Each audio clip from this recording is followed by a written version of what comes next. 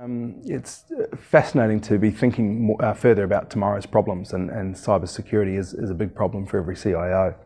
Um, I feel for them because uh, many of them are still trying to solve yesterday's problems or last decade's problems with operating systems and applications that are potentially a long time out of date.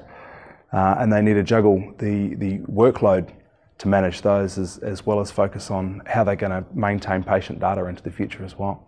Um, a big problem for all of them, I think.